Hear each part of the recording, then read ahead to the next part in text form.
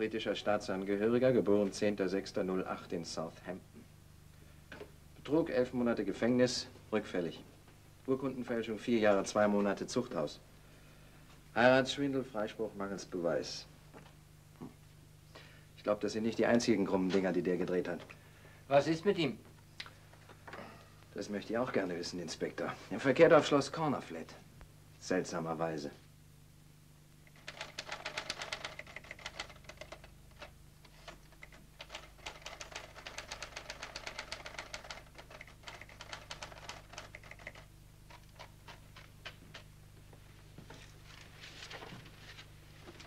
Post, Milady.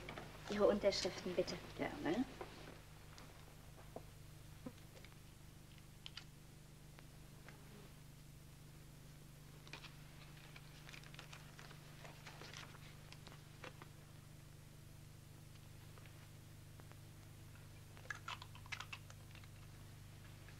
Oh, einen Brief möchte ich Ihnen noch diktieren. Ja, gern. Also schreiben Sie an die Direktion des Frauengefängnisses Telsbury. Sehr geehrter lieber Direktor Duffin, die UWFON, Ihre Liste der Strafgefangenen habe ich vom Komitee des Vereins zur Betreuung Vorbestrafter erhalten. Punkt. Wir haben für die Einordnung dieser Frauen in geeignete Arbeitsverhältnisse Sorge getragen. Für die erste Zeit stellt die Organisation Humanitas Geld und Kleidung zur Verfügung. Die Namen der vier Frauen, die entlassen werden, sind äh, Audrey Miller, Anne Harley. Warum schreiben Sie nicht, Miss Riedel? Audrey Miller, Anne Harley. Harley schreibt sich H-U-A-L-E-Y. Elizabeth Wright und Mary Pinder. Äh, Wir bitten Sie, den Entlassungstermin möglichst... Was haben Sie? Verzeihung, Milady. Der letzte Name. Mary Pinder. Fehlt Ihnen etwas? Sie können mir ruhig alles sagen. Nein, danke. Also schreiben Sie weiter. Im Fall Mary Pinder, über deren gute Führung Sie mir berichtet haben, möchte ich etwas Besonderes tun. Ich bin bereit, Sie, äh, Klammer, ähnlich wie im Fall Adams als Butler, Klammer zu, als Hausdame in meine Dienste zu übernehmen. Punkt. Na, nu, Sörin, was hast du vor? Wo willst du hin? Ins Theater, Mutter. Hamlet. Ohne meine Erlaubnis? Das wundert mich. Mein Reisegut ist eingeschifft, leb wohl. Und, Schwester, wenn die Winde günstig sind und Schiffgeleit sich findet, schlaf nicht, lass von dir hören. Na ja, also hör schon endlich auf, Sören. Du weißt doch, was Dr. Tappet gesagt hat. Du musst mit deiner Gesundheit vorsichtig sein. Er hat angeordnet, dass du... Ich lasse mir von diesem verrückten, betrunkenen Doktor nichts vorschreiben. Glaub nur nicht, dass ich mich vor diesem grässlichen Kerl fürchte. Du bist doch mein lieber, gehorsamer Sohn, nicht wahr, Sören? Geh in dein Zimmer und beschäftige dich mit deinen Experimenten. Es tut mir leid, Miss Riedel, dass Sie Zeugin dieser Szene geworden sind. Aber sobald die Rede aufs Theater kommt, ist ja nicht mehr normal. Das darfst du nicht sagen, Mutter. Schon Großvater hat immer... Milady. Ich kann dir nicht alle Wünsche erfüllen, Serene. Ich befolge streng die Anordnungen Dr. Tappets, die für deine Gesundheit notwendig sind. Sir, Ach, lass ihn, er wird schon wieder zu sich kommen. du siehst heute wieder aus, bezaubernd. Streng dich nicht an, aber nichtsdestotrotz, Dankeschön. Adams, ich verlasse mich auf Sie, dass Sie darauf achten, dass mein Sohn das Haus nicht verlässt. Sehr wohl, Milady.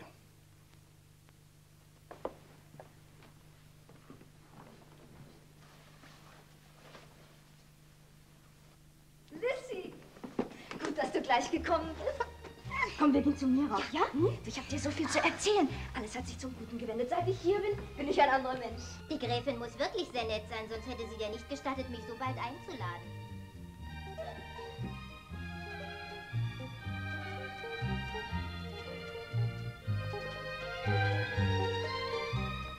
Später der Abend, je schöner die Gäste. Äh, darf ich bekannt machen? Das ist Lord Moran, meine Freundin Lizzie Smith. Seien Sie herzlich willkommen auf Cornerflat. Wenn ich die Damen vielleicht durch unsere Ahnengalerie führen darf? Nein, Ja, danke. Sie müssen entschuldigen, ich weiß nicht so recht. Muss ich jetzt Eure Lordschaft zu Ihnen sagen oder Eure Hoheit? Reizend. Sagen Sie Sally. Ja, so haben mich meine Freunde genannt. Mein Großvater allerdings sagte Bitte immer... bemühen Sie sich nicht. Aber es ist mir ein Vergnügen, wirklich. Wollen wir ja? Der Stammbaum der Morgens reicht zurück bis ins 14. Jahrhundert. Dieses hier ist die russische Prinzessin Daschkow, die mein Großvater heiratete. mein Großvater sagte damals, aber das eignet sich wohl nicht für die Ohren so junger Damen. Ja, lassen wir das. Dies ist der Earl of Morgan, mein Vater. Er ist in Indien gefallen. Ach, na, der ist aber hübsch. Ja, ja. Finden Sie? Ja. Es ist William, mein verstorbener Onkel. Wenn ich den Damen vielleicht noch unsere hochinteressante Waffensammlung erklären darf. Oh nein, danke. Lissy und ich, wir haben uns sehr viel zu erzählen. Ja, ja, ich verstehe natürlich. Dann habe ich vielleicht ein anderes Mal das Vergnügen. Ja? Gerne. Ich wünsche den Damen einen unterhaltsamen Abend. Dankeschön. Guten Abend. Guten Abend. Wenn wir uns wiedersehen, werden wir lächeln. Wo nicht, war dieser Abschied wohlgetan. Cäsar, dritter Akt.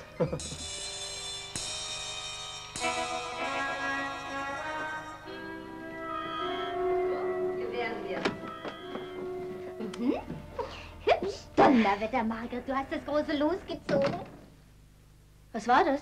Nur die Tür. Komm, setz dich, Lissy. Also schieß los. Ja, stell dir vor. Ein solcher Zufall. Die Gräfin wird meine Mutter als Hausdame aufnehmen. Ach, also ich kann es noch gar nicht fassen. Meine Mutter wird hier in diesem Hause mit mir zusammen leben. Kannst du dir vorstellen, wie mir zumute ist? Naja, aber weiß denn die Gräfin, dass deine Mutter... Ich habe ja noch gar nicht gesagt, dass es meine Mutter ist. Außerdem glaube ich nicht, dass sie das getan haben soll. Wenn du sie sehen wirst.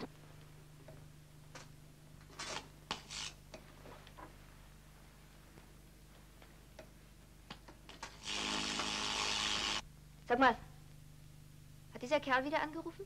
Denk mal an, seitdem du weg bist, nie wieder. Ich habe mich auch schon gewundert. Ach, ich bin froh, dass das jetzt alles hinter mir liegt. Das kannst du auch. Du hast es doch herrlich. Ich habe immer gedacht, solche Stellungen als Gesellschaftsdame und Sekretärin bei einer Gräfin auf einem Schloss, das gäbe es nur in Romanen. Ach, eine Herrliche.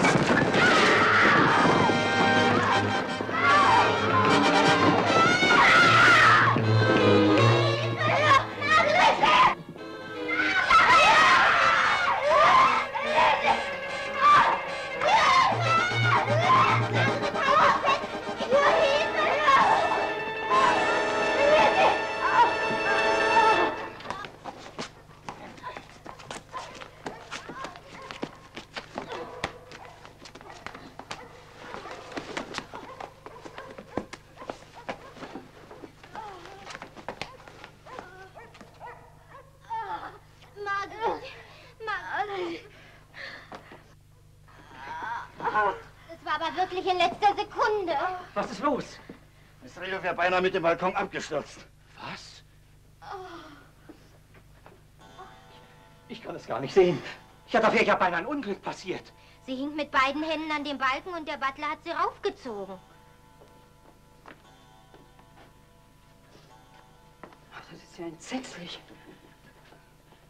Mein armes Kind, ich bin ganz außer mir. Wie konnte denn das geschehen? Der Balkon ist baufällig, Milady. Natürlich ist er baufällig. Deshalb habe ich ja die Türe abschließen und den Schlüssel entfernen lassen. Wer hat den Schlüssel in die Tür gesteckt? Ich wünsche Auskunft darüber. Wer sind Sie? Das ist Miss äh, Smith, eine Freundin von Miss Riedel. Sie ist zu Besuch hier. Wo warst du, als das Unglück geschah? In meinem Zimmer, Mutter. Ich hörte Gepolter und lief gleich rauf. Also, irgendjemand muss doch den Schlüssel ins Schloss gesteckt haben. Wer? Niemand. Antwort. Adams? Mr. Adams kam zur rechten Zeit, Milady. Was hatten Sie zu dieser Zeit in der obersten Etage zu tun? Wenn er nicht gewesen wäre, wäre ich jetzt nicht mehr am Leben. Ja, das stimmt. Wenn er nicht gewesen wäre, Miss Riedel, wären Sie wahrscheinlich überhaupt nicht in Gefahr gekommen. Adams, haben Sie den Schlüssel in die Balkontüre gesteckt? Nein, Milady. Dahinter steckt mehr, als ich zu vermuten wage. Miss Riedel, Sie bleiben heute nicht in diesem Zimmer. Servin, Mutter. du wirst die Freundlichkeit haben, dein Zimmer Miss Riedel zur Verfügung zu stellen. Ich? Ja, natürlich.